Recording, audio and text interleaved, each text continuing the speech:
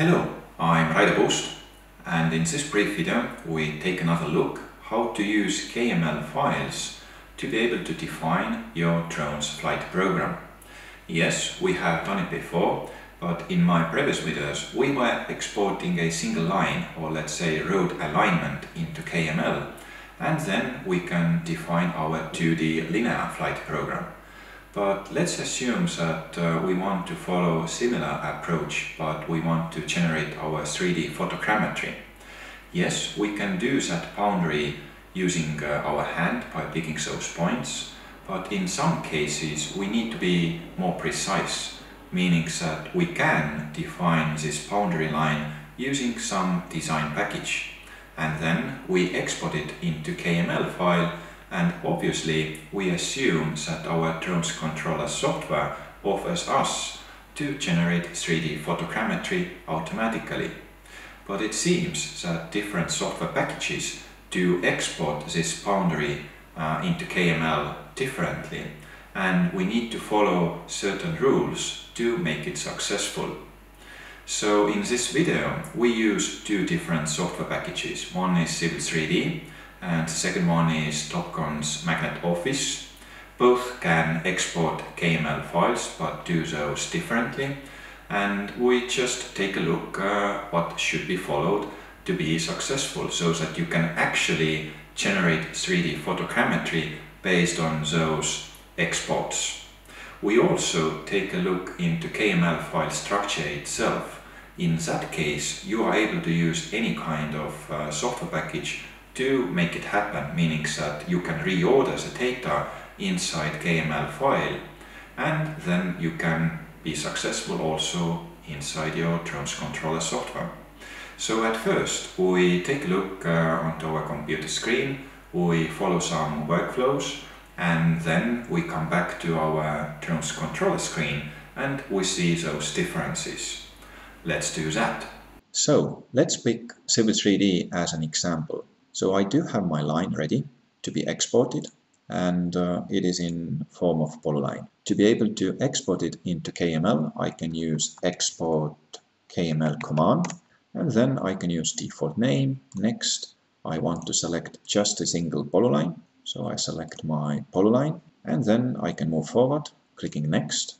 Next again, I ensure that I do have my coordinate system defined. So next, and elevation can be zero, next. And then I can point to location to where I want to export it. I will select KML and also will add Civil 3D into file name. I hit save and then export and close. So I should be ready now to import it into my controllers software and should be able to make a 3D photogrammetry. But it comes out that uh, actually I have to edit this file because otherwise I can't do that. And the reason is quite simple. If I take a look into this KML file, edit with Notepad, then I can see that my lines, which are building up my line, are made of different lines. And my current drone's software can understand only from the first line section. This is obviously a problem, so I need to reorganize this file to be successful. And in a minute, I will show you how you can do that. But let's take another look. Let's use now magnet project. In here, I do have the same drawing and I want to export the same polyline or string into KML file. So I will go to View, Google Earth, then I want to export only selection, just a line work, export to KML, OK, and then I will use, let's say, MO in my file name and save. If I go and check this KML file inside some text editor, I can see some differences. For example, if I scroll down to the very end of the file, I can see that my line is defined in one section only. And this can be easily understood by our drones controller software. But we are still not ready to use that file because it comes out that we need to define our line inside Magnet Office differently. Mainly, we need to define or convert it into boundary. So let's do that first. I do still have my Magnet project ready. I can double click on this line, then I do have edit string or it can be also polyline. I will convert it into boundary or also polygon works. So I convert it into boundary. I give a name, project name. I hit OK. And now I can double check that my string or polyline is actually a boundary. And this makes a difference because if I now export this file into KML, let's do that. So once again, Google Earth, I export it into KML and let's use some different name like boundary and then save.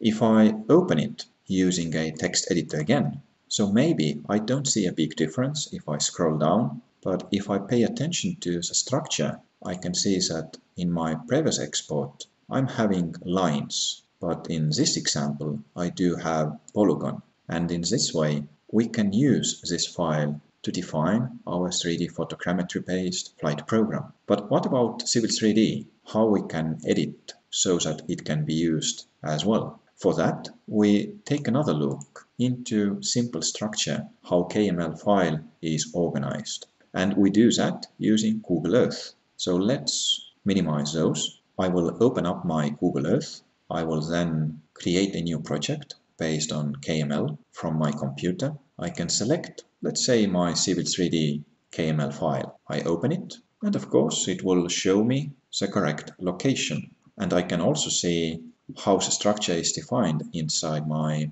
Google Earth. Now, in this way, of course, I can export it again as a KML file, but this doesn't change the game, meaning that uh, I get the same structure. Instead of this, I will use a different approach in where I just um, go back, I click new project, create KML file, new feature, and draw line or shape. Remember, I'm doing it just to get a structure of my KML file, and this workflow is not meant for precise boundary definition.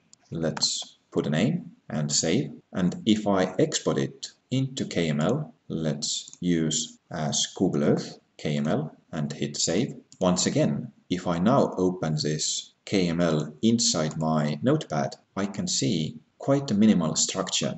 And what is probably the most important part is down below, and it is starting with place mark, and I can see how the definition should be done meaning that I do have a linear ring, which is closed polygon, yes, and inside this file I do have just those corner points. So in this way I can define or redefine my Civil 3D as well. So let's do that. If I go back to my Civil 3D, yes, those coordinate values are important, but I can also see that uh, in here I do have my place mark. So what I can do, I will go to my Google Earth option I will just remove those points and please pay attention to that uh, my first point is same as the last one so I have to repeat it. I will delete those then I will go to my Civil 3D and let's just remove those lines that I don't need.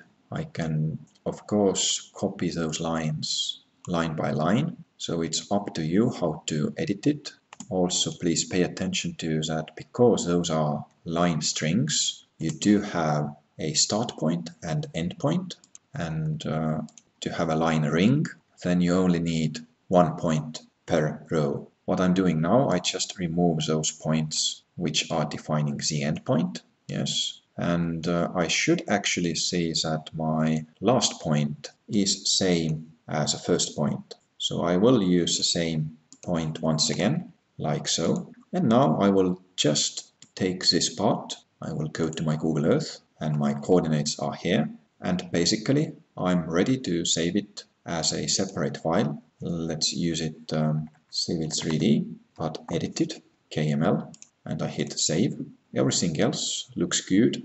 I do have some styles which are not so important and I can leave them uh, as is. I can close it and now let's copy all those files into our SD card and let's see which one works and which doesn't. So we have inserted our memory card into Drones controller and let's now use those KML files one by one. Civil 3D is the first one, non-edited version. And if I start the creation of my drones flight program, I can see that uh, I do have only one line.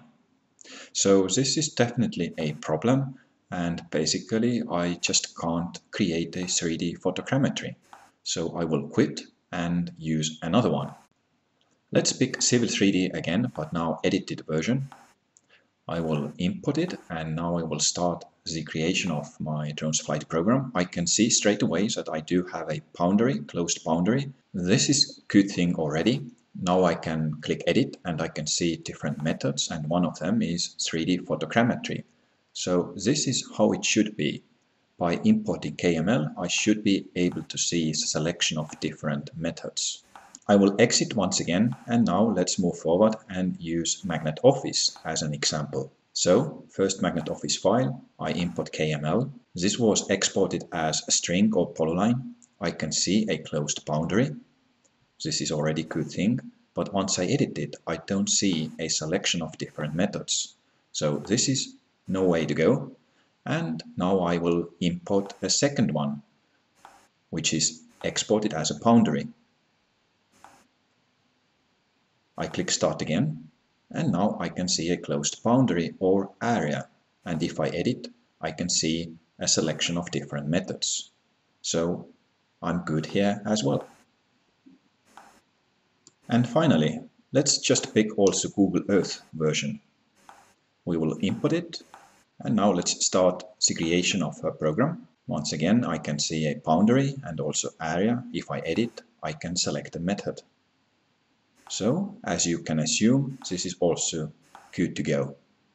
And I can exit again. Of course, you may use some different design package, so please do use comments and uh, let me know which option works for you, how you can export your KML file so that your drone's controller understands it correctly. If you got excited to see my next episode, please do subscribe to my channel and you get notifications once I upload a new video. Bye bye.